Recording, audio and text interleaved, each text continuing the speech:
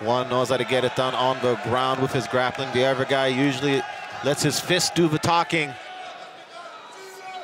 Matthieu currently riding high on the confidence of a two-fight win streak. And you wonder just how long it would take Jason to initiate the clinch here, work for the takedown. Simultaneous kicks there, both fighters.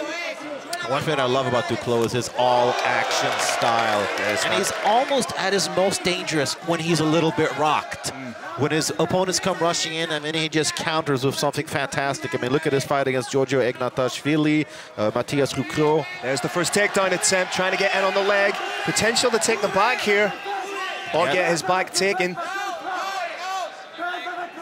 Nice work for the Dagestani handcuff. These shots are legal. Jason you needs see- to roll, needs to do something to get out of this position. Duclos really picking his shots very wisely to ensure that they are legal, so that's a great point there, Phil. As long as some point of the glove is making contact with the ear on the strike, it is perfectly legal. Think of almost like the Chuck Liddell mohawk running down the back of the head. Another oh. big shot. And how loose is Duclos in there? You can see it's almost like spar it's almost like a sparring mentality, oh, staying Oh, yeah. so loose.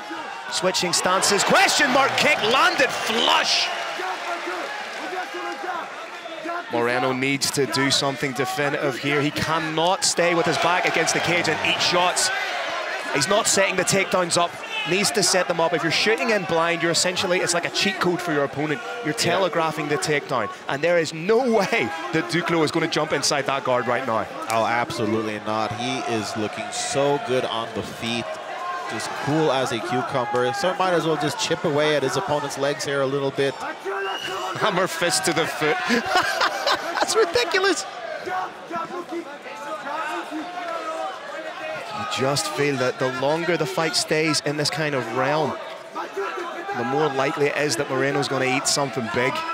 Yeah, absolutely. We know that Duclos packs big power. Question is, Oh, he hurt the leg big time. Look at this stance. Works to the body. Again, telegraph takedown. And if you're Duclos, you just stand right back up out of there. Yeah.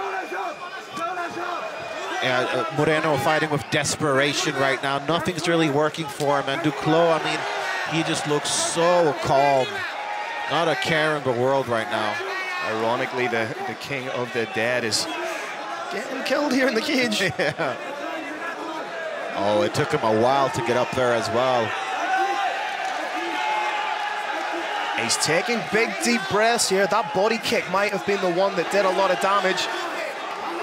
Moreno looks like he does not want to be there. Oh, absolutely. Everything in his body language is telling him that he's having a bad time. All of his movements are labored, they're slow, sloppy. Oh, big shot!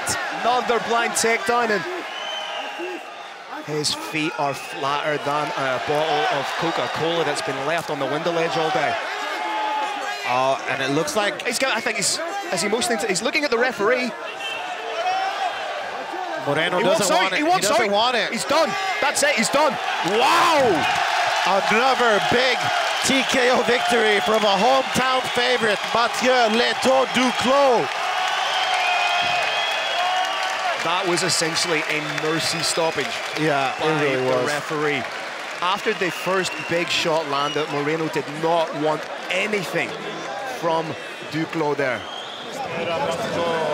Le vainqueur par TKO au premier round, Mathieu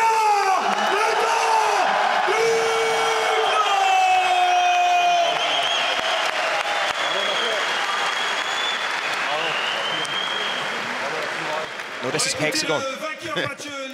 That's right, that is a- that is a promotion we're working for. Parfaitement géré. Vous étiez extrêmement concentré du début jusqu'à la fin. Toujours concentré, toujours concentré.